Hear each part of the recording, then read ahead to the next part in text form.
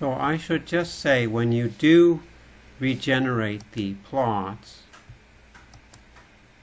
let me show you what you should do. For instance, if you do the plots for data 1617,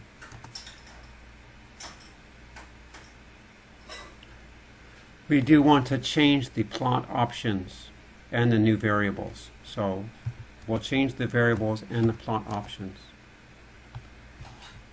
I mentioned before the variables that we're interested in are 1, 2, 7, 8, 9, 11, 14, 17, 18, and 20.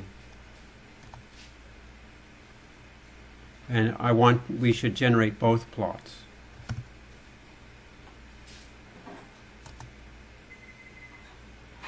And you should also keep it as the default percent and color. So you can just press enter for default and color.